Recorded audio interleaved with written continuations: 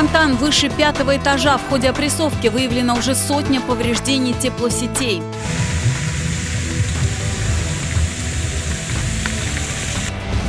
В рубрике «Улицы столицы» Обской бульвар с его незавершенной историей. Сегодня мы находимся с вами на одном из самых известных и в то же время э, загадочных мест города Барнаула. Очень большой теннис. Скоро в Барнауле откроют академию этого вида спорта. Главное, чтобы ребенок был талантливый, чтобы у него было желание. Если у него есть желание, то, я думаю, у него все получится. О событиях вторника вам расскажут наши корреспонденты и я, Татьяна Голубева. Здравствуйте. Сегодня коммунальщики приступят к ремонту теплотрассы, происшествие на которой взбудоражило социальные сети.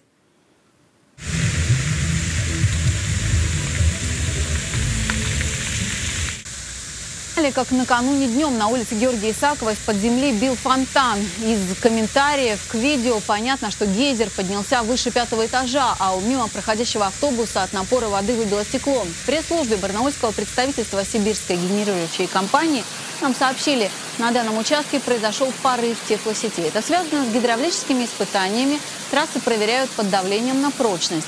Температура воды, которая вышла на поверхность, была безопасной – 20 градусов. На горячее водоснабжение жителей это никак не повлияло. В данном контуре его и так нет до 10 июня из-за прессовки на ТЭЦ-3. По ее результатам уже выявлено около сотни повреждений. На внутриквартальных и магистральных сетях более 25 устранено. По остальным ведется работа. В Барнауле по решению суда приостановлена деятельность предприятия по производству, хранению и складированию моющих средств. Напомним, 6 мая на улице Попова произошел разлив концентрированной моющей жидкости. В результате 17 человек обратились за медицинской помощью. Роспотребнадзор провел проверку, материалы были переданы в суд, который пришел к выводу предприятию, представляющему угрозу жизни и здоровью людей, а также экологической безопасности необходимо закрыть на 90 суток. За это время предприниматель Гайдей должен устранить все нарушения.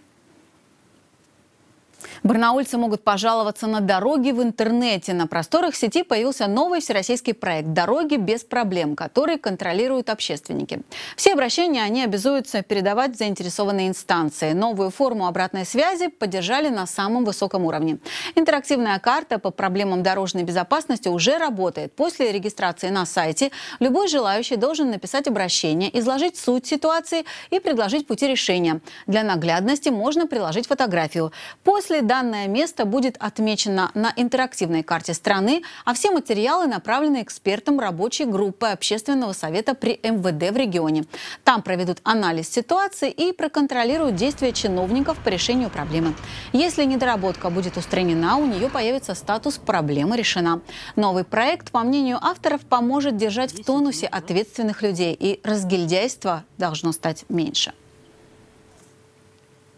Иномарка врезалась в столб в микрорайоне Поток. Инцидент случился накануне во время проливного дождя. Впрочем, причиной ДТП, по словам очевидцев, стали совсем не атмосферные осадки. Автомобиль, совершающий опасные маневры на дороге, экипаж ДПС обнаружил на улице Титова в районе Тимуровской. Началось преследование.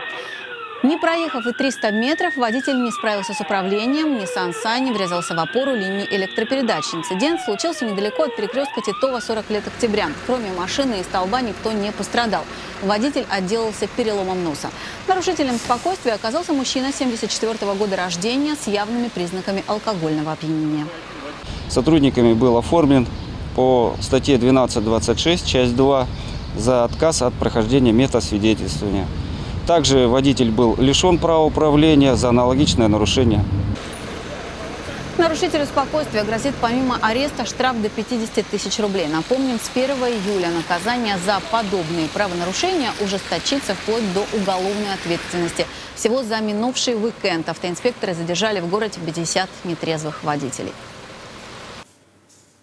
Начальник Главного управления МВД России по Алтайскому краю съездил в гости к своим подчиненным на Северный Кавказ. Около ста наших земляков находятся здесь в служебной командировке.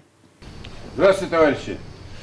Здравия желаю, товарищ составе объединенной группы Алтайской полиции сотрудники уголовного розыска, участковые, патрульные инспекторы ГИБДД в Шали и в Кабардино-Балкарскую республику они уехали 4 месяца назад для обеспечения правового порядка. Олег Тарубаров познакомился с условиями службы, быта своих сотрудников, посмотрел, как они поддерживают физическую форму, выслушал проблемы, которые волнуют личный состав. Кроме того, начальник Алтайского главка вручил благодарственные письма тем, кто уже отличился на службе. Вернутся бойцы на Алтай через полтора месяца. В Барнауле скончалась оставшаяся без квартиры ветеран Великой Отечественной войны. 92-летняя Татьяна Белоконева летом прошлого года по вине мошенников осталась без прав на собственную жилплощадь. Ее квартиру купили какие-то неизвестные люди и пытались в ней прописаться. Позже выяснилось, что квартиру успели перепродать без ведома женщины целых пять раз. Следственный комитет возбудил уголовное дело по факту мошенничества. По обвинению был задержан подозреваемый. Сейчас он задержан и находится в СИЗО. Опрашивают свидетелей, выясняются все обстоятельства произошедшего. Прокуратура в гражданском порядке оспаривает все проведенные сделки. При этом в связи с кончиной Татьяны Белоконевой, потерпевшей в деле теперь выступает единственная наследница, сестра покойной, которая также находится в весьма преклонном возрасте. Я поверила просто, что это будет все исправлено. Продолжим. За ходом проведения ЕГЭ в Алтайском крае лично следит представитель Федерального центра тестирования из Москвы. Накануне она прибыла в Барнаул. Пока серьезных замечаний к организации первых двух экзаменов по географии и литературе у федерального эксперта нет. На что именно обращает внимание московский ревизор и почему выбрала для контроля именно наш регион, выясняла Ольга Калачева. Федеральный эксперт в Алтайский край приехала на две недели следить за тем, как в школах нашего региона ребята сдают математику, русский язык, а также географию и литературу. Она родом из Кузбасса, 35 лет работала директором одной из гимназий Новокузнецка. В этом году впервые примерила на себя платье ревизора и сразу решила, проверять будет именно школы Алтая. Говорит, нравится природа и педагоги, хотя на выбор ей предлагали поехать еще и в Томск и Омск. А контролирует представитель Москвы на экзаменах данных буквально все и сразу передает столицу подробный отчет. Уважаемые выпускники, очень хочется пожелать вам успехов. Помните, верьте в себя, не опускайте руки перед трудностями и помните, удача и успех любят целеустремленных, активных, решительных и веселых. Добрый путь вас! Число пострадавших от присасывания клещей в Алтайском крае продолжает расти. Только за прошлую неделю в поликлинике региона обратилось без малого полторы тысячи человек. У пяти врачи подозревают клещевой энцефалит, у 120 – сибирский клещевой тиф. В Барнауле присасывание клещей чаще всего происходит на горной части города, в поселках Южный, Власиха, Борзовая заимка, Ганьба. Внимательными быть специалисты советуют также при посещении Павловского, Первомайского, Косихинского и Рубцовского районов. В случае присасывания клещей иммуноглобулин бесплатно вводится только детям. Преследуя взаимные интересы, сегодня в научной библиотеке имени Шишкова была открыта базовая кафедра Алтайской академии культуры и искусств. Она была создана для подготовки будущих библиотекарей. Эта кафедра виртуальная, но проводить на ее базе планируют вполне реальные практические занятия. Различные семинары, мастер-классы, встречи с алтайскими писателями и поэтами. Я буду искренне счастлива, когда наши студенты скажут – вот вторник, допустим, среда, я не знаю, какой день это, условно говорю, у нас занятия в библиотеке, и в этот день я никогда не прогуляю занятия и никогда не пропущу. Ольга Калачева, Андрей Печоркин, информационный канал «Город». С 19 июня Барнаульский филиал финансового университета при правительстве России начинает юбилейный прием абитуриентов. Предоставляются бюджетные места общежития отсрочка от армии. В 2015 году барнаульскому филиалу исполняется 50 лет. В Алтайском крае это один из ведущих профильных вузов, который готовит специалистов в области финансов, экономики и менеджмента. Ведет набор на программу бакалавриата и магистратуры, на очную и заочные формы обучения. Студенты вуза могут обучаться за счет федерального бюджета и платно. Профессорско-преподавательский состав нашего филиала э, на 94% состоит из штатных работников. Те 6%, э, которые сверх этих 94 это э, люди, специалисты э, высокого уровня из регионального сектора экономики, которых мы приглашаем для подготовки наших экономистов, финансистов, менеджеров. Все студенты проходят практику на предприятиях. Финуниверситет. Ценим прошлое, строим будущее.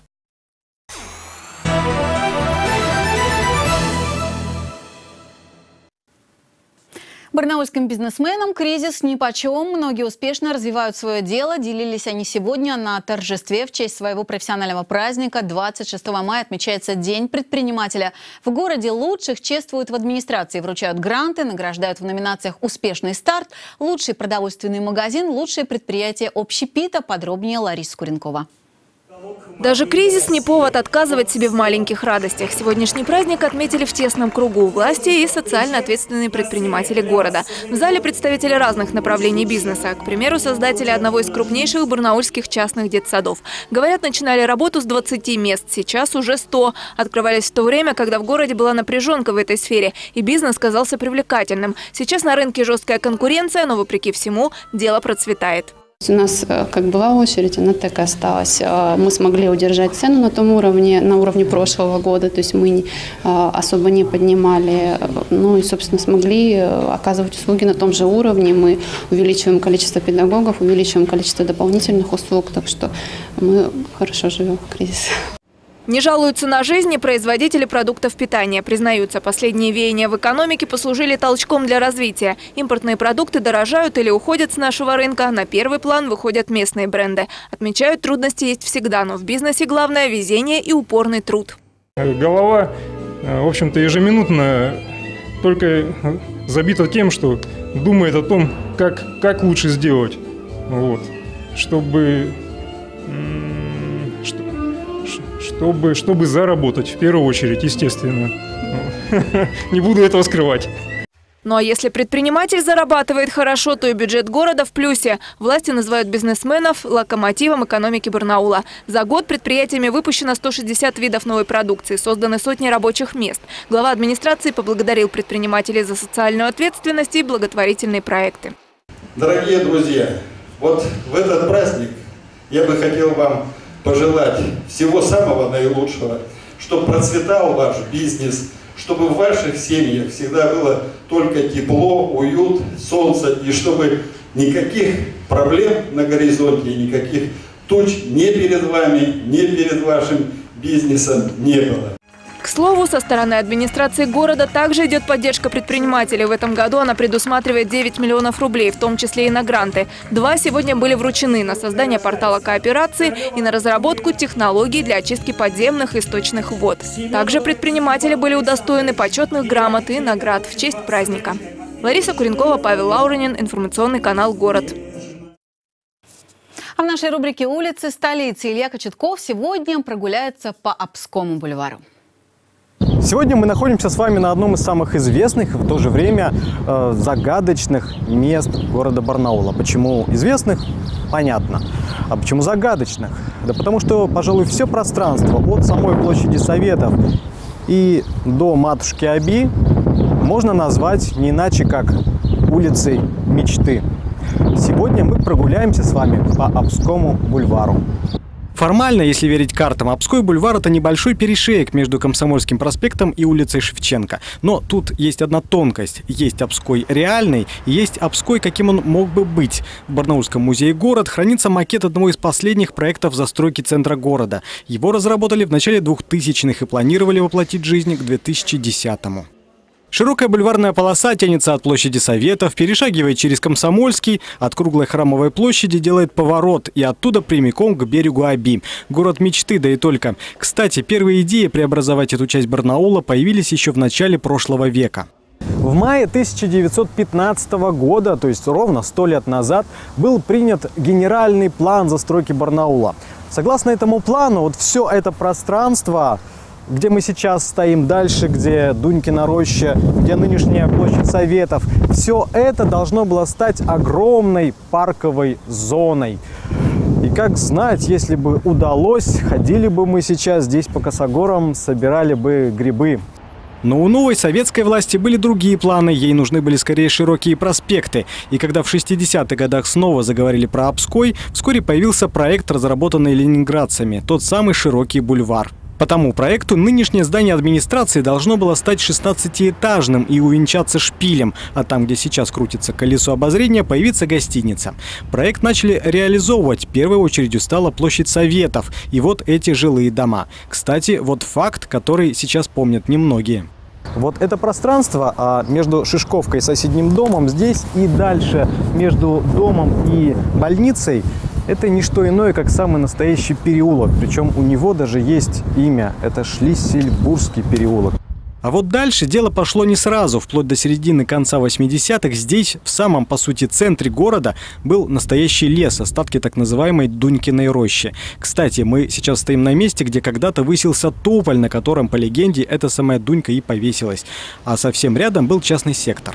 Здесь э, на месте вот этих яблонь тоже было продолжение рощи, тополя. Поэтому коровы из частного сектора, они днем выгонялись сюда, переходили на эту сторону, заходили даже вот в окрестные дома. То есть такая картина, она была вплоть до конца 80-х годов. Роща примыкала к горбольнице и была местом прогулок пациентов. Дмитрий Марьин рассказывает, когда начали строить вторую очередь бульвара, будущий дом афганцев, диагностический, в земле даже находили человеческие останки, да он и сам находил кости. Откуда они здесь – тайна. А вскоре грянула перестройка, потом развал Союза, не до бульваров стало. В последующие годы к этой идее то и дело возвращались, но дальше Комсомольского бульвар так и не продвинулся. Архитектор Александр Деринг считает проект слишком затратным для любых, даже самых жирных времен, хотя и очень заманчивым. Это очень заманчиво. И это такой постоянная мечта. Это все-таки выйти на... У нас есть выход на речной вокзал, на который тоже вот мы э, боремся, чтобы его нам не, э, не закрыли, да, единственный. А если бы у нас появился вот здесь такой, конечно, бульвар с э, выходом можно сказать, прям в центральной части города к Аби, конечно, это был очень мощный фактор для ну, во-первых, рекреационные зоны. Если верить планам и макетам, то вот примерно здесь и там чуть дальше и должен был заканчиваться Обской бульвар. Огромный такой, как будто бы Потемкинская детской лестницей. Случится это когда-нибудь, не случится, как знать. Давайте помечтаем. Говорят, мечтать очень даже полезно. Илья Кочетков, Андрей Печоркин, информационный канал «Город». Этот шедевр обычным зрителям не показывали еще ни разу, хотя он хранится в фондах художественного музея с 1973 года по просьбе журналистов. Портрет с изображением легендарной балерины Майи Плесецкой на время достали из запасников. Об этом не только расскажем в обзоре событий культуры. 2 мая ушла из жизни легенда русского балета Майя Плесецкая. Ей было 89 лет. Именно с этого дня у некоторых барнаульских журналистов родилась идея найти хоть что-нибудь по теме. Им удалось выяснить, что в художественном музее есть работа известного мастера Артура Фанвизина «Портрет Майи Плесецкой». Но этот акварельный образ видели только научные сотрудники. Картина была написана в 1963 а спустя 10 лет поступила в фонды музея и с тех пор лежала в запасе запасниках. Кстати сказать, этого могло бы и не случиться, если бы не настойчивые журналисты. Говорят, портрет Плесецкой позже оформят, спрячут под стекло. Его покажут вновь уже официально только после открытия нового здания художественного музея. Его друзья, ученики вспоминали о том, что Фанвизин так писал работу, как будто бы он дирижировал целым оркестром. О нем говорили, что он зажимал одновременно в руке до 20 кистей, и потом выхватывал нужную кисть и писал. Писал, как будто бы находясь в каком-то трансе.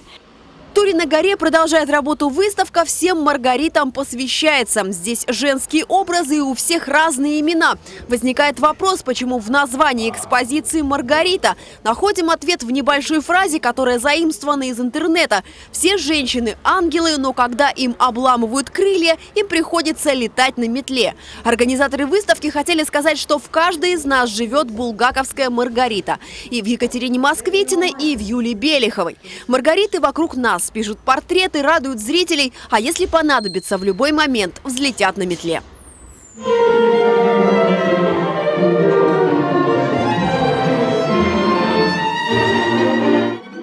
филармонии филармонии совсем скоро, а если точнее 28 мая, очередной симфонический вечер. В сопровождении нашего оркестра выступит молодой скрипач из Екатеринбурга Иван Иванов. В Барнауле он впервые, несмотря на то, что приехал за несколько дней до концерта, пока никаких экскурсий не планирует, мечтает хорошо выспаться. В Барнауле Иван завершает свой гастрольный тур. В его исполнении прозвучит симфония номер 5 Чайковского и концерт для скрипки с оркестром Корнгольда. На Урале я объездил 20 городов, вот, да. И после этого были концерты на Дальнем Востоке, э, во Владивостоке. Вот. В общей сложности этот концерт, вот, который в Барнауле, считается сейчас 28-м. Елена Кузовкина, информационный канал «Город». Меньше недели до главного праздника ребятишек мы все еще принимаем видео на конкурс к 1 июня с участием детей, ведь редко кто не снимал своих чат на камеру. Наш электронный адрес citynewssobaka.alt.ru и на него уже приходят клипы с очаровательными малышами. Торопитесь, работы принимаются до 29 мая. Обращаем ваше внимание, что видео обязательно должно быть оригинальным и ярким. Кстати, необычные фотографии мы тоже принимаем, а 1 июня в одном из парков Барнаула на детском празднике сибирской медиагруппы мы подведем итоги и вручим призы победителям нашего телевизионного конкурса.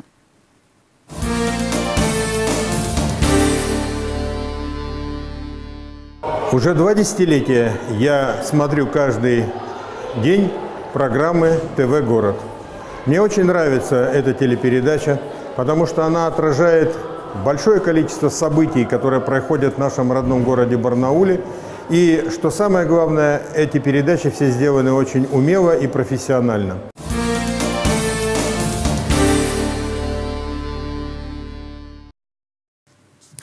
Спорте едва не обыграла барнаульская «Динамо» лидера «Востока» во второй лиге, но Байкал смог спастись на последней минуте 2-2. За наших забивали Липин и Первушин. Через несколько дней последний матч ничем не примечательного для «Динамо» сезона. А вскоре большой теннис станет очень большим для нашего города. Грядет открытие Академии, продолжит Юрий Борлис.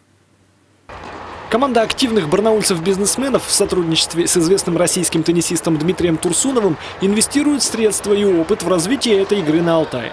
Будет усовершенствована материальная база и сформирована команда тренеров и персонала.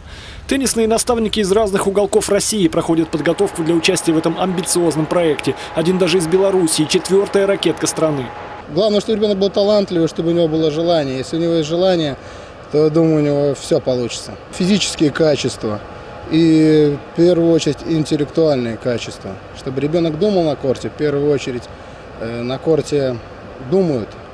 Кто думает головой, тот и побеждает. Президент Теннисной Федерации края убежден, как и любой профессионал, что кроме процесса обучения должны быть поставлены на рельсы и выезды на соревнования. Без них ребенок не вырастет звездой. Это тоже будет. Вскоре откроется детский лагерь теннисный, по две тренировки в день, плюс ОФП, того часов 5. Дети будут заняты на корте. Набор в группы Академии начнется ближе к осени, ведь летом кто где. Я последние годы в Санкт-Петербурге работал, и там как бы теннис э, на более высоком уровне развит нежели здесь и в Новосибирске. Новосибирск просто чуть больше город и больше профессиональных тренеров. Но э, все очень дорого. Но здесь э, сделали цены приемлемые для детей. Э, да, я первый раз с этим столкнулся, кстати. Но там э, поиграть час в теннис э, с тренером э, это в районе двух с половиной тысяч рублей. Ну, порядка э, 350 рублей за занятие в течение ну, э, этих занятий, если два, два раза в неделю, значит, ну, будет порядка 650-700 рублей в неделю. То есть, в принципе, не так дорого. Стоит добавить, что на днях в Барнауле ждут тренера Дмитрия Турсунова Виталия Горина, владельца теннисной академии в США. Юрий Борлис, Алексей Фризин, информационный канал «Город». И о погоде. В среду возможны дождь и гроза, западный порывистый ветер. Ночью от 6 до 8, днем от 15 до 17. Выше 0. Спасибо, что остаетесь с нами. И до встречи.